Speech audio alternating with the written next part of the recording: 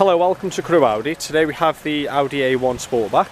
The car's got the LED headlights with the daytime running LEDs with the front headlight washer jets. 17 inch alloy wheels. LED backlights with the dynamic sweep indicators with the rear parking sensors. Now this is a brand new Audi vehicle so you will get the 3 years warranty and 3 years roadside assistance from the manufacturer.